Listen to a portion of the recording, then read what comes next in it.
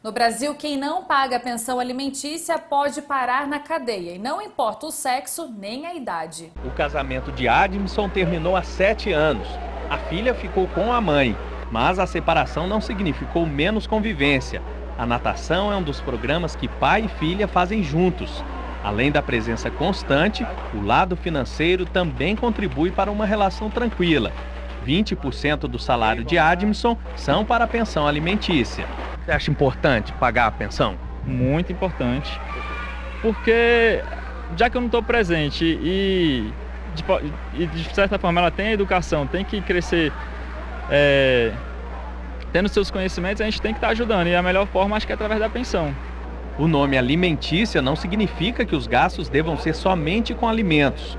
No bolo entram educação, lazer, vestuário. O dinheiro serve para ajudar a garantir uma vida digna aos filhos são necessidades nossas, especialmente da criança, que não tem como se defender, de receber alimento, vestuário, educação, saúde. São, são necessidades é, impostergáveis.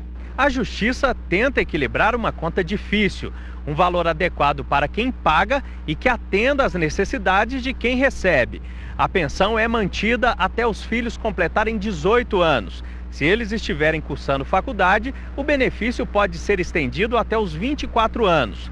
Casos de saúde crônicos devem ser avaliados. O Código Civil e a Constituição determinam a família como responsável.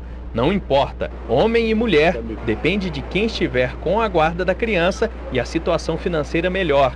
Em último caso, até mesmo algum parente, como avós e tios, podem ter a obrigação de arcar com os alimentos. Ex-companheiros também têm direito, mas há casos específicos, como situações em que é difícil retornar ao mercado de trabalho. Você pega uma mulher que ficou os últimos 40 anos casada e aí se separou. Os filhos já estão casados, os filhos já estão maiores, ninguém está. Essa mulher vai fazer o quê? Nesse caso, não se há de falar em reinserção de mercado de trabalho, porque Hoje é cada vez menor a possibilidade de uma pessoa com mais de 50 anos estar no mercado de trabalho. A lei é dura com quem não cumpre as regras. Bastam três meses de atraso e aí não tem conversa. É cadeia para o devedor, com pena de 30 a 90 dias, com possibilidade de prorrogação. A dívida não é quitada e nem reduzida. Acima de três meses, a cobrança é feita em um processo de execução. O rigor da lei movimentou esta pacata cidade, Vianópolis, no interior de Goiás. Dona Luzia, de 74 anos, comemora a liberdade. Tá com a saudade da minha rua, ficar na liberdade, ver meus amigos, olhar aqui, tudo. A vovó Luzia foi parar atrás das grades porque o filho dela não pagou a pensão de seus quatro netos.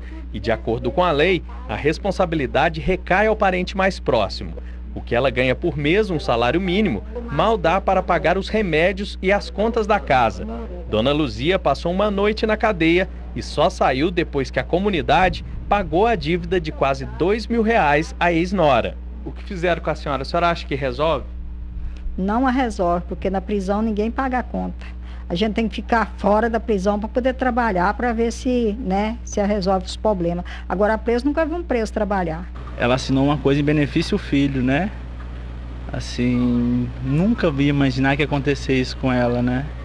E foi, infelizmente ela foi prejudicada por isso, por um ato de bondade dela.